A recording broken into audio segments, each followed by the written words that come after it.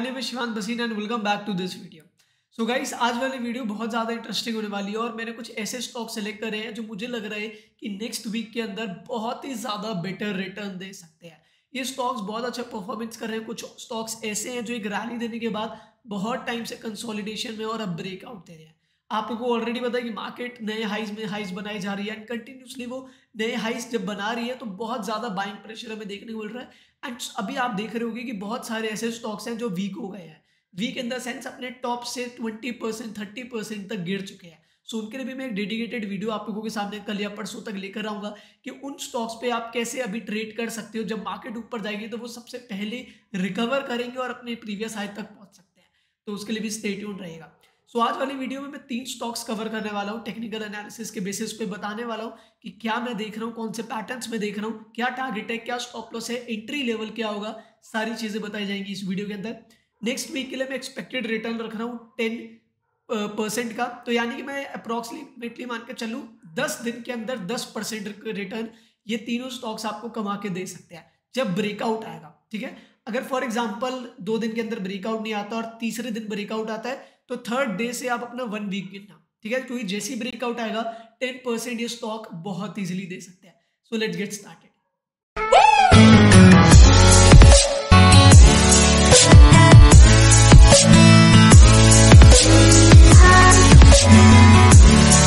so so, हमारा सबसे पहला स्टॉक है S B I card S B I card में बहुत बढ़िया स्ट्रक्चर बन रहा है और जिस तरीके से कंसोलिडेट कर रहा है ना, इसके हायर चांसेस हैं कि अगर इसका ब्रेकआउट आता है तो टेन परसेंट बहुत ईजिली दे सकता है। सो लेट गेट स्टार्टेड देखिए, सबसे पहले मैं यहाँ पर आप लोगों के सामने एनालिसिस करता हूँ एंड आई होप आप लोगों को एनालिसिस समझ में आए और आप लोग खुद भी प्रैक्टिस कर पाए। सबसे पहले अपने सपोर्ट्स को कनेक्ट करते हैं। I think this should be our first support line इसके अलावा अगर हम लोग रेजिस्टेंस लाइन को देखें so this should be our this can be our resistance line ठीक है? ये हमारी एक रेजिस्टेंस लाइन हो सकती है। अब देखिए सपोर्ट का हमें काम है। आई डोंट थिंक सो हमें सपोर्ट का कोई नीड नहीं है। वाई क्योंकि मार्केट अभी पर्टिकुलर स्टॉक यहाँ ट्रेड कर रहा है और सपोर्ट बहुत ज़्यादा नीचे है। सो आई थिंक अभी के लिए सपोर्ट को हम लोग इग्नोर कर देते हैं, क्योंकि हमें ज़्यादा नॉइस नहीं चाहिए चार्ट के अंदर। इसके अलावा अगर मैं देखूँ तो यहाँ पर हम लोग एक जोन क्रिएट कर सकते हैं लाइक like दिस और इस ट्रेंड लाइन को भी हटा सकते हैं। इस जोन से हमें ये चीज़ पता चल रही है कि एक बार इसने रीटेस्ट करा था, एक फॉल आया again it gave a retest again एक फॉल आया third time and fourth time total चार बार फॉल आ चुका है। यहाँ पर बस एक चीज़ हमें समझने वाली है, जिसकी वजह से मैंने ये स्टॉक सेलेक्ट करा इसे कहते हैं contraction price and volume contraction यहाँ पर आपको मैं एक चीज़ दिखाता हूँ just give me a second yes सबसे पहले आप देखिएगा, ये वाला जो फॉल आया है आप देख सकते हैं, ये वाला फॉल नीचे की तरफ़ है, ठीक है? इसके अलावा जो दूसरा फॉल आया था, वो एग्जैक्टली ये था। इसके अलावा जो थर्ड फॉल आया है, वो ये है। क्लियरली आप यहाँ पर देख पा रहे होंगे। एंड जो हमारा लास्ट फॉल आया है, वो एग्जैक्टली इस लेवल पे आया। है ठीक है? अब यहाँ पर प्राइस एंड वॉल्यूम कॉन्ट्रैक्शन क्या होता है? सबसे पहले प्राइस कॉन्ट्रैक्शन की बात करता हूँ। Price contraction in the sense कि कोई भी एक लेवल है, कोई एक ऐसा लेवल है, वो डिमांड भी हो सकता है और सप्लाई लेवल भी हो सकता है। अभी इस केस में हम लोग बात कर रहे हैं सप्लाई लेवल की। तो सप्लाई लेवल है फॉर एग्ज़ाम्पल ये लेवल इस लेवल से बार बार एक स्टॉक रेगुलर बेसिस पे गिरता है, जब भी उस लेवल को वो टेस्ट करता है। अब प्राइस कॉन्ट्रैक्शन का मतलब क्या होता है कि पहली बार जितना गिरा, उससे कम वो दूसरी बार गिरेगा, उससे ज़्यादा कम वो तीसरी बार गिरेगा और उससे ज़्यादा कम वो चौथी बार गिरेगा और फाइनली अपना ब्रेकआउट देगा उस पर्टिकुलर लेवल से। ठीक है? मैंने एक चीज़ आप लोगों को बहुत बार बताई थी। जैसे फॉर एग्ज़ाम्पल ये एक लेवल है। अगर इसी लेवल पे बार बार कोई स्टॉक आ रहा है टेस्ट हो रहा है बार बार आ रहा है टेस्ट हो रहा है बार बार आ रहा है तो ये जो लेवल है, वो एक तो वीक हो जाएगा, क्योंकि बार बार अगर उस पर मारा जाएगा तो वो चीज़ वीक हो जाएगी और उसके ब्रेक होने के चांसेस ज़्यादा हो जाते हैं।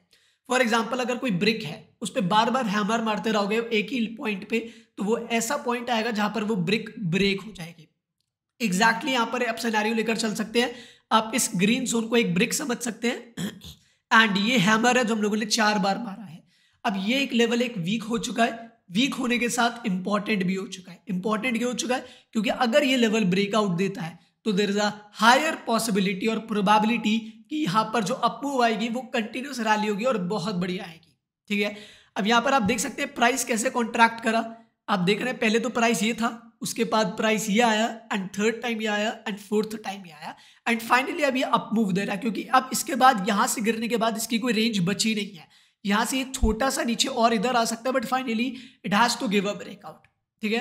तो इसे कहते हैं प्राइस कॉन्ट्रैक्शन अब प्राइस कॉन्ट्रैक्शन के साथ अगर वॉल्यूम का भी कॉन्ट्रैक्शन देखने को मिले in the sense let me show you जैसे मैं यहाँ पर इसको थोड़ा सा छोटा कर देता हूँ ओके यहाँ पर आप देख सकते हैं जब इस समय एक फॉल आया था तो वॉल्यूम बहुत तेज़ी से गिरा। यहाँ पर आप देख सकते हैं वॉल्यूम बहुत ज़्यादा तेज़ी से गिरा। ठीक है? एट दिस पर्टिकुलर लेवल भी यहाँ पर हम लोगों ने देखा वॉल्यूम बहुत ज़्यादा तेज़ी से ही गिरा है। ठीक है? ये तो वॉल्यूम बिल्कुल बराबर है। ये तो एक अपमूव होती है, बहुत ज़्यादा वॉलिटिलिटी आ जाता है कभी एक दिन में तो हम इसको इग्नोर कर देते हैं। बट एक्चुअल में आप देख रहे हो वॉल्यूम्स डिक्लाइन हो रहे हैं वॉल्यूम्स कॉन्ट्रैक्ट हो रहे हैं। इसका मतलब क्या है कि लोग हायर लेवल्स पे बाइंग की सलाह ले रहे हैं। इन द सेंस हमारे लिए एक बात बताइए, जब यहाँ से एक इतना बड़ा फॉल आया और यहाँ से जब ये गिरना स्टार्ट करा, आपको क्या लगता था कि वो कहाँ तक गिरेगा? मोस्ट प्रॉब्लली लगता था यहाँ तक गिरेगा बट एक्चुअल में ऐसा नहीं हुआ, वो यहाँ तक गिरा। क्यों गिरा यहाँ तक? क्योंकि लोगों के बाइंग में कॉन्फिडेंस आया कि यहाँ तक नहीं, हम यहीं पर ही बाय करेंगे बिकॉज़ ये लेवल भी अच्छा है बाय करने के लिए। इसके अलावा जब ये दोबारा यहाँ से गिरा तो लोगों के माइंड में आया होगा अच्छा अब यहाँ तक तो आ ही जाएगा। बट यहाँ तक नहीं आया, वो इस लेवल पे आया और तब भी लोगों के माइंड में एक बाइंग का कॉन्फिडेंस आया क्योंकि उन्हें लगा कि ये वाला बाइंग प्राइस ही सबसे ज़्यादा बेटर है, इसको इग्नोर कर देते हैं। और जब बाइंग लेवल ऊपर की तरफ़ शिफ्ट हो रहा तो finally it gonna give a very good breakout तो आई होप हम लोगों ने ज़्यादा बातें कर ली होंगी। अब इसके बारे में अब मैं बात आता हूँ आप लोगों को टारगेट्स कहाँ तक जा सकते हैं। सबसे पहले आप एक चीज़ देखिएगा कि मैं एक चीज़ आप लोगों को और ना अर्ली टाइम फ्रेम पे दिखाता हूँ। ठीक है तो मैं इस सारी चीज़ों को हटा देता हूँ अभी के लिए एंड हम लोग चलते हैं वन आवर के टाइम फ्रेम पे। जब मैं वन आवर के टाइम फ्रेम पे आता हूँ तो मैं देखता हूँ एक सिमिलर टाइप ऑफ़ पैटर्न मुझे और देखने को मिल रहा है। I think this is my first resistance ये मेरा सेकेंड रेजिस्टेंस होगा सॉरी सपोर्ट होगा। तो यानी कि मुझे एक चीज़ पता चली हो ना अर्ली टाइम फ्रेम कि एक हज़ार रुपये से almost eleven hundred and sixty two तक गया। ऑलमोस्ट वन सिक्सटी पॉइंट्स की इसने रैली दी। उसके बाद ये कंसोलिडेट करते रहा कंसोलिडेट करने के बाद फाइनली अब ये ऊपर की तरफ़ शिफ्ट हो गया। अब आप देख रहे होंगे, जब ये कंसोलिडेट हो रहा था तो please check out the R S I अब आर एस आई देखेंगे तो ये ओवरबॉट था ओवरबॉट से नीचे आया नीचे आया, अब दोबारा ऊपर जा रहा है। इसके अलावा वॉल्यूम्स भी हल्के हल्के राइज कर रहे हैं एंड एक इंडिकेटर मैंने और यूज़ करा है ये मैं बहुत कम मतलब एक स्पेसिफिक पैटर्न के लिए यही यूज़ करता हूँ। अदरवाइज़ मैं कोई इंडिकेटर्स यूज़ नहीं करता। आप लोगों को ऑलरेडी पता है, यह है R V I relative volatility index relative volatility index अगर मैं आप लोगों को डेली टाइम फ्रेम पे भी बताऊँगा बट यहाँ पर आप देखेंगे तो एक फ्लैग एंड पोल पैटर्न में है। अब अगर मैं सिर्फ़ फ्लैग एंड पोल पैटर्न के बेसिस पे ही अपना टारगेट डिसाइड करूँ so this is my bottom this is my top and again this is my bottom. So my target should be around at this particular level, which is 1.618 का। ये मेरे flag and पोल के हिसाब से targets आ रहे हैं। अब फिबोनाची को हटा देते हैं। फिबोनाची को हटा दिया तो इसके अलावा मुझे एक जोन और देखने को मिल रहा है। Let me show you can you see it zone अगर आप इस जोन को देख पा रहे हैं तो आप लोगों को एक चीज़ क्लियरली समझ में आ रही होगी और मैं ऊपर एक जोन और क्रिएट करना चाहूँगा आप लोगों के लिए। एट दिस लेवल सो यहाँ पर आपको एक चीज़ तो दिख गई होगी कि ये एक राइट right शोल्डर है, ये एक हेड है और ये एक सॉरी ये लेफ़्ट शोल्डर है, एक ये हेड है और एक ये राइट right शोल्डर है। सो so फाइनली जब ये इस लेवल का ब्रेकआउट आएगा, जैसे ही इस लेवल का ब्रेकआउट आएगा तो इसके टारगेट्स हेड एंड शोल्डर के हिसाब से भी अगर फाइंड करें so that should be around let me show you this top and this bottom so मेरे हिसाब से जो टारगेट्स होंगे that should be around at this particular level जो कि twelve hundred and twenty four rupees आ रहा है। अब अगर हम लोग बाई करते हैं इस लेवल के ऊपर, और देखिए हमें क्लोजिंग का वेट करना होगा। इस लेवल के ऊपर बाय करते हैं this particular level which is six point two three percent return and our second target should be around this level which is eight point seven zero percent return which is very good buy this particular stock ठीक है? एक head and shoulder pattern है, एक flag and pole pattern होना early time frame एक बहुत बढ़िया consolidation price and volume contraction pattern जो बना हुआ है थ्योरी के बेसिस पे on a daily time frame बहुत जल्दी ब्रेकआउट आने वाला है breakout level I already suggested you at one eleven hundred and fifty five rupees के ऊपर you go have to buy अब बात करते हैं Shivan sir what is the stop loss क्या स्टॉप लॉस मेंटेन करना है? See so for that we use volume profile indicator it's a volume profile tool जो हम यूज़ करते हैं। बेसिस लेवल पे तो अभी ये लेवल दिखा रहा है बट हमें देखना होता है आप देख रहे हैं ये वॉल्यूम्स आपको बहुत ज़्यादा दिख रहे होंगे। हमें टॉप थ्री वॉल्यूम्स देखने हाईएस्ट सो मेरे हिसाब से पहला वॉल्यूम ये है सेकंड ये है थर्ड ये है। सो so, मैं थर्ड के नीचे अपना स्टॉप लॉस मेंटेन करके रखूँगा। ठीक है? थर्ड से थोड़ा सा नीचे मेरा स्टॉप लॉस होगा, जो कि एग्जैक्टली exactly इसी लेवल पे आ रहा है। ठीक है? इससे थोड़ा सा नीचे ये मेरा स्टॉप लॉस है। दैट शुड भी मतलब वन इज़ टू थ्री और one is to two point five का रिस्टोवर्ड रेशियो में देखने को मिल रहा है। एस बी आई कार्ड के स्टॉक पे। आई होप आपको एनालिसिस पसंद आई होगी। इसे कहते हैं multi time frame analysis plus जिस तरीके से हम लोग एनालिसिस करते हैं विदाउट यूजिंग एन इंडिकेटर्स तो बात करते हैं अपने सेकेंड स्टॉक की। सो so गाइज़ हमारा दूसरा स्टॉक है Shri Ram transport finance yes guys Shri Ram transport finance मेरे रिडार में बहुत टाइम से है बट ये ब्रेकआउट दे नहीं पाता। बट मुझे अब चांसेस लग रहे हैं कि अब टाइम आ गया कि ये ब्रेकआउट दे सकता है और अपने प्रीवियस हाई को भी ब्रेक करके ऊपर जा सकता है। So let me show you कि इसके अंदर क्या स्ट्रक्चर बन रहा है और किस बेसिस पे मैं आपको ये प्रोवाइड करवा रहा हूँ। सबसे पहले देखिए यहाँ पर हमें सपोर्ट uh, बनाने की ज़रूरत नहीं है बिकॉज़ बन नहीं पाएगा। क्लियरली चार्ट से देखने को मिल रहा है। रेजिस्टेंस बना लेंगे बट सबसे पहले मुझे एक बहुत बढ़िया चीज़ देखने को मिली है बिल्कुल अभी अभी जो कि ये लेवल आ रहा है। आप देख पा रहे होंगे, यहाँ पर मुझे एक चीज़ पता चली है और मैंने वीकली टाइम फ्रेम ओपन करा हुआ है, ठीक है?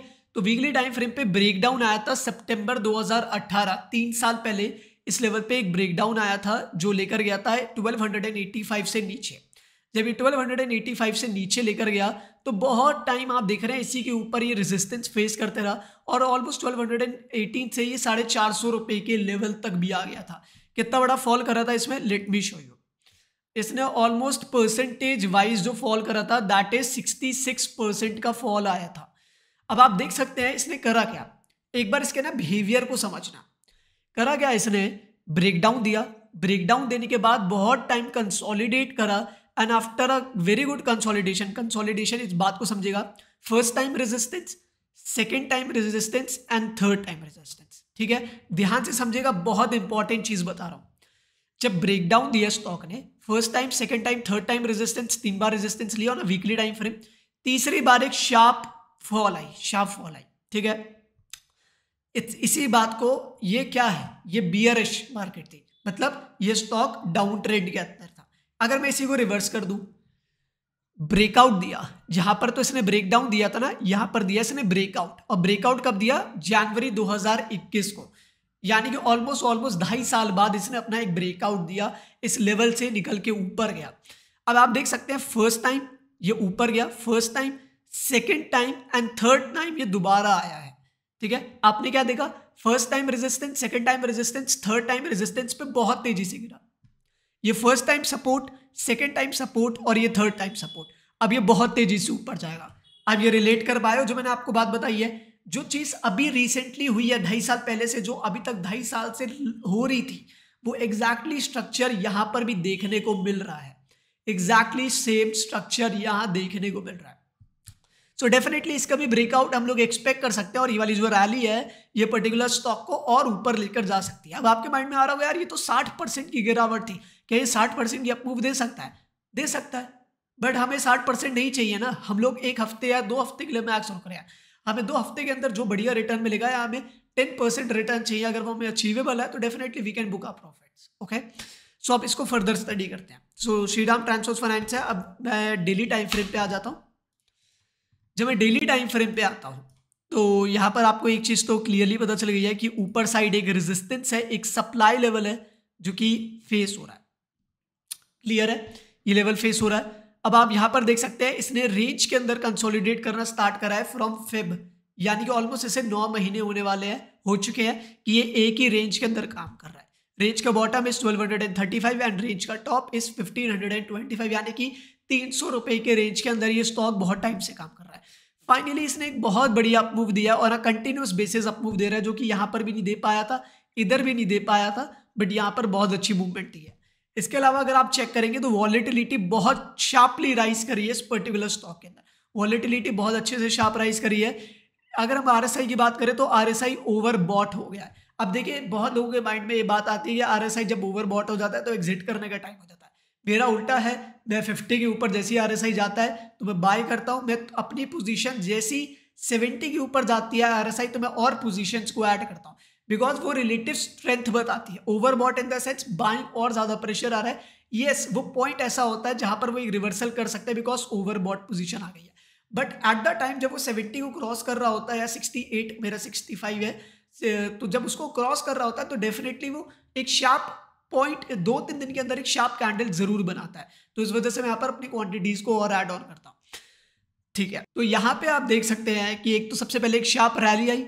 एक शार्प रैली आने के बाद ये कंसोलिडेट करा और अब इसका एक ब्रेकआउट दे रहा है। तो इससे हमें एक चीज़ और क्लियर हो गई है कि एक फ्लैग पैटर्न एक फ्लैग इन पोल पैटर्न का एक बहुत बढ़िया ब्रेकआउट देखने को मिल सकता है। और जब ब्रेकआउट आएगा तो लेट मी टेल यू कि इसके टारगेट्स क्या होंगे। सबसे पहले ये नौ महीने का एक रेंज है। इस नौ महीने का जो टॉप है और जो बॉटम का जो डिफरेंस है that should be our target first of all ये हमारा टारगेट होगा। सो फॉर एग्ज़ाम्पल अगर मैं इस बाइंग लेवल के ऊपर बाय करता हूँ, इस जोन के ऊपर अगर मैं बाय करता हूँ so this should be my target and this particular thing is my stop loss तो अभी हम डिसाइड कर लेंगे। ठीक है? तो ये हमारा टारगेट होगा which is around eighteen to eight eighteen point five percent return but हमें इतना नहीं चाहिए। हमें चाहिए ten percent eight to ten percent हम लोग नाइन मान के चलते हैं। हमें चाहिए इस परसेंट का रिटर्न अब बात करते हैं कि शिवान सर हम बाय कब कर रहे हैं? अब आप खुद देख सकते हो। आपके सर, हमारे माइंड में एक चीज़ आ रही है, क्योंकि मैं आपसे काउंटर क्वेश्चन आप मेरे से पूछ सकते हो ऐसी चीज़ें। कि शिवान सर, देखिए, ये अभी लास्ट ट्रेडिंग सेशन पे ऊपर गया। बट नीचे चला गया। अगर ये ऊपर जा रहा है लाइव मार्केट पे और हम लोग बाय कर रहे हो और वो कैंडल ऐसी बना दे क्लोजिंग बेसिस पे तो हम क्या करेंगे? तो वो चीज़ का भी मैं आंसर आपको देता हूँ। पहले चलते हैं वन आवर के टाइम फ्रेम पे। वन आवर के जब टाइम फ्रेम पे आए तो हम लोगों ने एक चीज़ यहाँ पर नोटिस करी, इस वाली कैंडल ने एक ब्रेकआउट दिया। ठीक है? इस वाली कैंडल ने क्या करा? एक ब्रेकआउट दिया। लेट लेट अंडरस्टैंड दिस देखिएगा एक्चुअल में ये एक बुलिश कैंडल बनी। बुलिश कैंडल बनने के बाद ये एक इनसाइड कैंडल बनी। इनसाइड कैंडल बनने के बाद इसने ब्रेकआउट दिया। ब्रेकआउट देने के बाद ऊपर गया ऊपर गया, नीचे आया, जो ब्रेकआउट लेवल था एग्जैक्टली उस लेवल पे सपोर्ट लिया, अब दोबारा ऊपर जा रहा है। अब ये पॉज कहाँ पर ले रहा है? ये एक शार्प जो रेड कलर की कैंडल देख रहे हो, उसका जो 50 परसेंट है, उसके ऊपर ही जा नहीं पा रहा और क्लोजिंग नहीं दे पा रहा। So what you have to do इसका ये मैंने मिड फिफ्टी ले लिया। तो यानी कि जैसे ये fifteen hundred and thirty rupees के ऊपर वन आर की कैंडल क्लोज होगी I am repeating my level again fifteen hundred and thirty rupees के ऊपर जैसे ही क्लोज करेगा वन आवर का टाइम फ्रेम पे candle you can go for a buy with ten percent of a target और stop loss अभी हम लोग डिसाइड करते हैं। ठीक है? एंट्री लेवल पता चल गया। टारगेट आपको पता चल गया। Let us understand our stop losses so मैं एक ट्रेंड लाइन ड्रॉ कर रहा हूँ। ये मैंने एक ट्रेंड लाइन ड्रॉ कर दिया आप लोगों के लिए। सो so, हो क्या सकता है? मल्टीपल बार आके अपनी ट्रेंड लाइन पे सपोर्ट ले सकता है। सो फॉर एग्ज़ाम्पल अगर हम इसके ऊपर बाय कर रहे हैं मैं थोड़ा सा ऊपर ही रख देता हूँ। So our stop loss should be below this level ठीक है? This should be my stop loss क्योंकि हो सकता है वो ट्रेंड लाइन पे है। अब एक बार सपोर्ट लिया और ऊपर गया तो आप अपने स्टॉप लॉस को ऊपर बढ़ा सकते हैं। फॉर एग्ज़ाम्पल अभी आपको तीन परसेंट का रिटर्न दिख रहा है। अगर आपको तीन परसेंट का प्रॉफिटेबल रिटर्न दिख रहा है तो आपका स्टॉप लॉस अगर फाइव परसेंट पे है तो आप लोग अपने स्टॉप लॉस को थ्री पॉइंट फाइव परसेंट पे लेकर आ सकते हैं। मतलब अगर तीन परसेंट प्रॉफिट बढ़ेगा तो उसका आधा परसेंट अपने स्टॉप लॉस को ऊपर की साइड आप ट्रेल कर सकते हैं।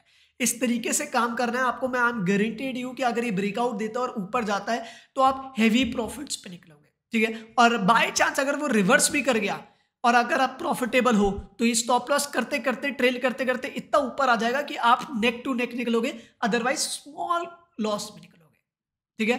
तो आई होप आप लोगों को समझ में आ गया होगा। So what our stop loss should be our stop loss should be around fourteen hundred and fifty four आप लोग बाय कर सकते हैं with target of around let me show you for a target of sixteen hundred and fifty seven rupees का।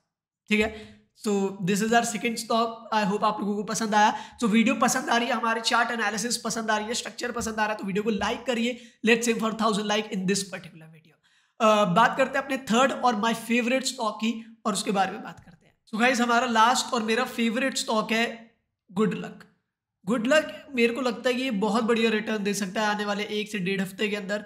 और अगर इसका breakout successful होता है, जिस तरीके से मैं होप कर रहा हूँ, जो मैंने पैटर्न आइडेंटिफाई करे हैं सो डेफिनेटली स्टॉक बहुत बढ़िया मूवमेंट दे सकता है और इसको अपने आप वॉच लिस्ट के अंदर भी ऐड ऑन कर सकते हैं। सो सिंपल वे में मैंने अभी आप लोगों को फ़र्स्ट वाले जो स्टॉक रिकमेंड करा था, उसमें मैंने आपको बताया था वॉल्यूम एंड प्राइस कॉन्ट्रैक्शन इस पर्टिकुलर चीज़ में वॉल्यूम इंक्लूडेड नहीं है price and volatility contraction pattern है।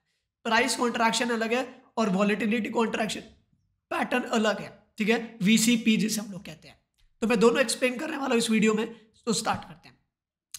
सबसे पहले ये टॉप है, हम लोग अपनी एनालिसिस कर लेते हैं। टॉप्स को सारे कनेक्ट कर दिए। इसके अलावा हम लोगों ने बॉटम्स को कनेक्ट कर दिए। जब टॉप और बॉटम को कनेक्ट करा तो हमें पता चला, एक तो शार्प डिमांड आई, एक शार्प अपमूव थी प्रीवियस रैली बहुत ज़्यादा अच्छी थी।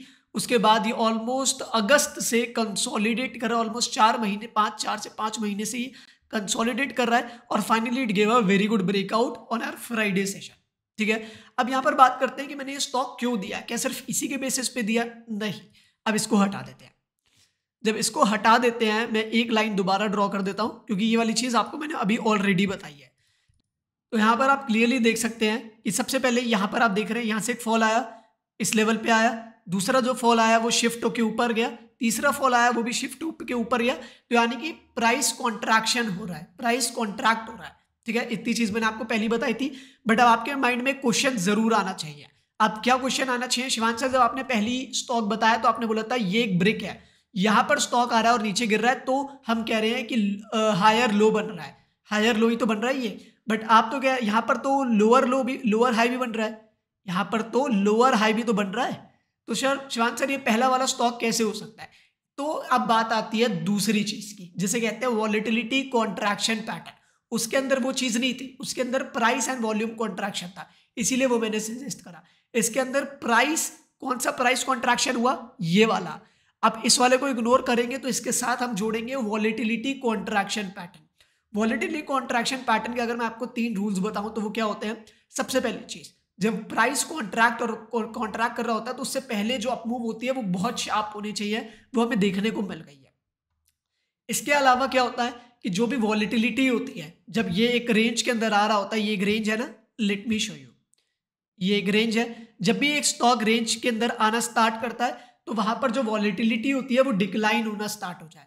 जब वॉलिटिलिटी डिक्लाइन होना स्टार्ट हो जाए, और जब वो लेवल हो, जैसे फॉर एग्ज़ाम्पल ये वाला लेवल हो, और जो भी अपने प्रीवियस टॉप्स को ये क्रिएट करें, उस लेवल पे हमारा लेवल ओवरबॉट होना चाहिए। मतलब हमारा जो स्टॉक हो, वो ओवरबॉट होना चाहिए। ठीक है? ये सारी बातें करेंगे but remember that volatility contraction pattern ये भी कहता है कि अगर यहाँ पर ओवरबॉट है तो यहाँ पर कम ओवरबॉट होना चाहिए होना चाहिए बट कम ओवरबॉट होना चाहिए। यहाँ पर इससे भी कम ओवरबॉट होना चाहिए बट ओवरबॉट के आसपास होना चाहिए। ठीक है? इसके ऊपर मैं एक डेडिकेटेड वीडियो बनाऊँगा, अगर आप लोग मुझे कमेंट सेक्शन के अंदर बताएँगे तो ठीक है? सो so, इतनी पॉइंट आप समझ गए। सबसे पहले तो एक पेनेंट पैटर्न है एक शार्प अपमूव एक रेंज के अंदर कंसोलिडेट कर रहा है। एक ट्राइंगल पैटर्न का ब्रेकआउट दिया जिसे हम कह सकते हैं बुलिश पेनेंट पैटर्न का ब्रेकआउट दूसरी बात higher high higher lows create हो रहे हैं यानी कि प्राइस कॉन्ट्रैक्शन बन रहा है। इसके अलावा वॉलिटिलिटी और ओवरबॉट को चेक कर लेते हैं तो हमारा जो पैटर्न है वो सक्सेसफुल हो जाएगा।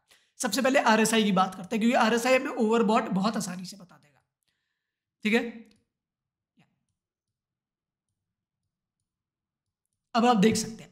सबसे पहला जो बना था, सबसे पहला ये है लेवल तो हम क्लियरली देख सकते हैं कि ये ओवरबॉट था, इस ओवरबॉट के ऊपर था। दूसरा हाई बना at this particular level overbought पे ही था बट नीचे था। इसके अलावा तीसरा ये बना ओवरबॉट के बिल्कुल पास ही था बट उससे नीचे था। इतना पॉइंट आप समझ गए? यहाँ पर भी अगर आप देखेंगे तो ये इससे भी नीचे है। क्लियर है? अब फाइनली वीसीपी ये कहता है मतलब वॉलिटिलिटी कॉन्ट्रैक्शन पैटर्न ये कहता है, जब ब्रेकआउट आएगा, जब ब्रेकआउट आएगा तो ये जो डाउन ट्रेंड आ रहा है ना आरएसआई के अंदर ओवरबॉट की पोजीशन के अंदर, वो शार्पली राइज करना स्टार्ट कर देगा। शार्पली राइज करना स्टार्ट कर देगा। वॉलिटिलिटी आप देख रहे हैं, किस तेज़ी से बढ़ना स्टार्ट कर गया। अपने इसने प्रीवियस वाले हाई को भी ब्रेक कर दिया। इतनी बात आप समझ गए? अब आगे। अब आगे अगर हम चेक करें कि वॉलिटिलिटी कॉन्ट्रैक्ट हो रही है कि नहीं? वॉलिटिलिटी कम हो रही है कि नहीं हो रही है? वॉलिटिलिटी डिक्लाइन हो रही है कि नहीं हो रही है? सो लेट्स चेक अब आप देख सकते हैं, मैं इसको हटा देता हूँ अभी के लिए आरएसआई को एंड हम लोग वॉलिटिलिटी लेकर आते हैं। सो वॉलिटिलिटी से आप कंपेयर करेंगे तो वॉलिटिलिटी इस लेवल पे हाई थी। आप देख रहे हैं सिंपल हाई वॉलिटिलिटी थी। अब आप देखिएगा, जब ये टॉप बना वॉलिटिलिटी कम हुई। जब ये वाला टॉप बना वॉलिटिलिटी और कम हुई। जब ये बना, ये तो और कम हुई बट जब इसने ब्रेकआउट दिया अपने इन लेवल्स का वॉलेटिलिटी आप देख रहे हो राइज करना स्टार्ट कर गई। ये देखिए वॉलेटिलिटी कितने बढ़िया तरीके से राइज करना स्टार्ट कर गई अभी क्या होता था? अभी एक शार्प फॉल आता था शार्प फॉल आता था शार्प फॉल अब अप ट्रेंड की तरफ़ वॉलेटिलिटी जा रहा है तो यानी कि वॉलेटिलिटी राइज करना स्टार्ट कर गया।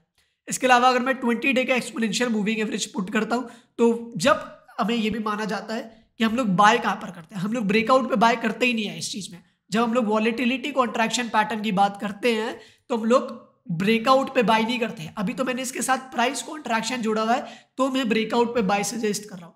अदरवाइज़ अगर सिर्फ़ ये पैटर्न वॉलिटिलिटी कॉन्ट्रैक्शन पैटर्न होता तो हम लोग बाय करते इस लेवल पे। ठीक है? क्यों? देखिए, सबसे पहला जो फॉल आएगा, वो बड़ा होगा, दूसरा फॉल छोटा होगा, तीसरा फॉल भी उससे ज़्यादा छोटा होगा, और ट्रेंड लाइन पे जो तीसरा फॉल होगा एग्जैक्टली exactly तीसरे फॉल से जैसी रिवर्सल करेगा, हमें वहाँ पर बाय करना है। बट वो जो तीसरा फॉल होगा वो एक सपोर्ट लेवल होना चाहिए। या वहाँ पर मूविंग एवरेज सपोर्ट करनी चाहिए या वहाँ पर वी वैप इंडिकेटर सपोर्ट करना चाहिए। सो so, हमारे लिए एक तो ये ट्रेंड लाइन तो सपोर्ट बहुत अच्छे से कर रही है। इसके अलावा 20 डे की एक्सपोनेंशियल मूविंग एवरेज भी सपोर्ट कर रही है। तो हमें इसी कैंडल पे अपनी बाय पोजीशन बना लेनी चाहिए थी। बट यस हम लोगों ने नहीं बनाई है हम लोगों ने अभी देखा है। तो हम लोग अभी भी करंट लेवल्स पे अपनी बाय पोजीशन बना सकते हैं। सर आपने बहुत अच्छे से एक्सप्लेन कर दिया और डेफिनेटली मैंने करा ही होगा। बट अब बात करते हैं टारगेट एंड स्टॉप लॉसेस की।